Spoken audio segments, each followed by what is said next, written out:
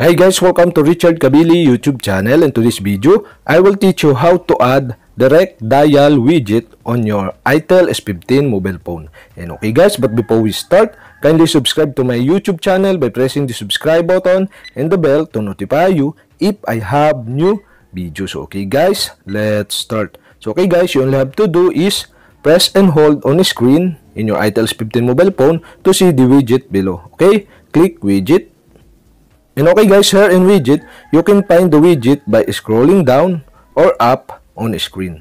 And okay guys, after you find the widget you want to add to your home screen. And okay guys, in this tutorial, I'll show you how to add the direct dial widget. And okay guys, you have to do is click the direct dial widget. And automatically show the contact of your mobile phone. And okay guys, now I select one of my contact to add to widget. And okay guys, for my example, I choose one of my contact.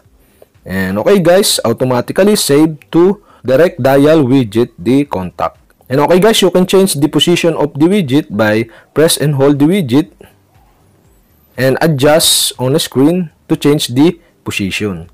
And okay guys, now we can try it to click the widget to see what happened.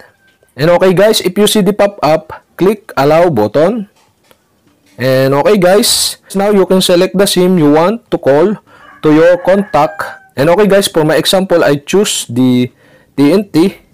And okay guys, now automatically call the contact of your widget.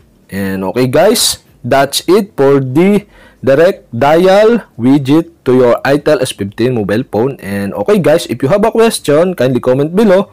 And don't forget to hit the subscribe button and the bell to notify you if I have new videos. Okay guys, thank you for watching.